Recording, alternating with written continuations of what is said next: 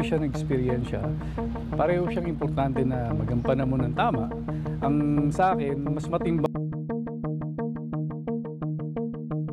Nagbukas ulit ang usapin patungkol sa lalaking anak ni Dither Ocampo na si Dream Ocampo. Tinanong ang aktor kung sino ang magulang ng bata. Sinagot ni Dither itinatago niya ang totoong katauhan ng anak dahil yun ang hiling ng bata.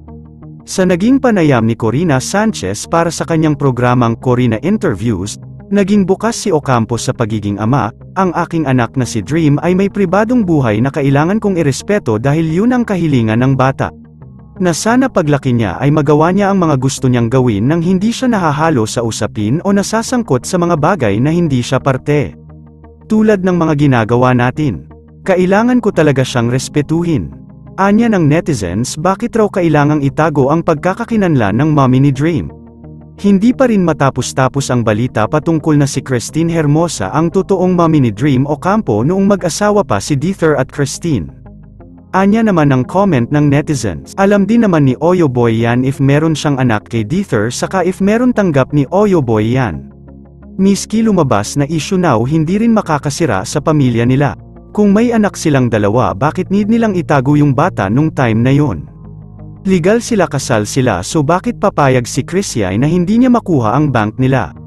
Sira ulo mo Dather binunyag mo tapos ngayon gusto mo tahimik na buhay hayaan na disgrasya ka. Tuloy isa ka pa naman sundalo hay sayang ka naman inggit ka sa kanila. Sa pagsambulat ng anak ni Dither Ocampo dapat na raw nitong aminin na si Christine Hermosa talaga ang tunay nitong magulang upang matahimik na ang lahat sa balitang ito. Sa ngayon bali-balita sa showbiz na hiwalay na si Oyo Boy Soto at Christine Hermosa. Ngunit tikom pa rin ang dalawa sa isyo na sila ay hiwalay na.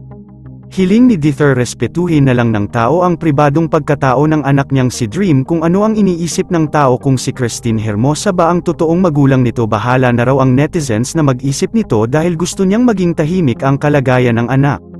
Yun lamang po ano sa tingin mo si Christine Hermosa ba ang totoong magulang ni Dream Ocampo? Yun lamang po maraming salamat po sa panunood.